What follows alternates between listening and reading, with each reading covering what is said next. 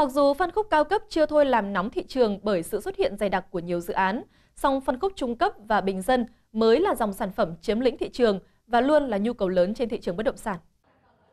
Mặc dù được dự báo năm 2016 sẽ là năm của những dòng sản phẩm cao cấp bởi sự ra mắt ồ ạt của hàng loạt các chủ đầu tư vào dòng sản phẩm này vào thời điểm cuối năm ngoái, nhưng trên thực tế, theo kết quả khảo sát của công ty CBI, trong 6 tháng đầu năm vừa qua, thị trường căn hộ bán riêng tại thành phố Hồ Chí Minh tiếp tục tăng mạnh. Quý 2 có tổng cộng 10.107 căn hộ mới, tăng 20% so với quý trước. Trong đó, nguồn cung mới của phân khúc trung cấp chiếm tỷ lệ cao nhất, khoảng 41% tổng nguồn cung mới cái nhu cầu thực trên thị trường á, là tồn tại trong cái phân khúc là à, bình dân và trung cấp và trong cái thời điểm mà quý 2 vừa qua thì chúng tôi ghi nhận là có rất là nhiều cái dự án trung cấp được chào bán trên thị trường thì có một cái tâm lý chung của người mua là khi mà có cái dự án chào bán mới á, thì là người mua họ sẽ rất là quan tâm và họ sẽ à, thường có cái khuynh hướng là họ họ thích cái sản phẩm mới cho nên là cái lượng tiêu thụ của cái phân khúc trung cấp trong cái quý 2 vừa qua cũng được ghi nhận là tốt nhất trên thị trường.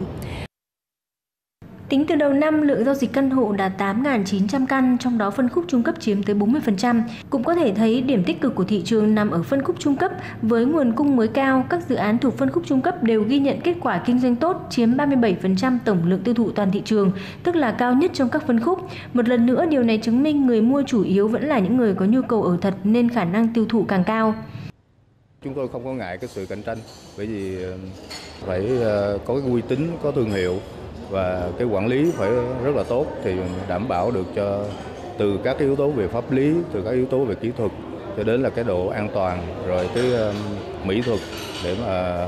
khách hàng khi vào ở thì họ rất hài lòng và họ có thể là tin tưởng được. Người ta mua phần lớn là là do nhu cầu thật mua để ở cho nên chúng ta mới chứng kiến trong những cái chung cư mà có giá bình dân thì cái tỷ lệ sáng đèn gần như 100%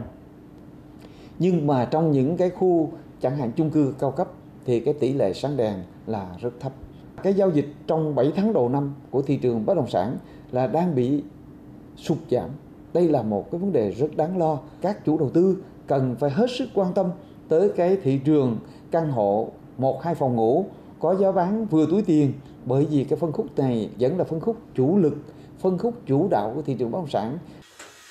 theo đánh giá, thị trường bất động sản đã bước qua giai đoạn khủng hoảng, trong khi áp lực và nhu cầu về nhà ở luôn luôn có ở mọi thời điểm và nhà nước đã có những chính sách phù hợp cho vấn đề này. Đây chính là điều kiện thuận lợi cho những người có mức thu nhập trung bình muốn sở hữu nhà vào thời điểm hiện nay.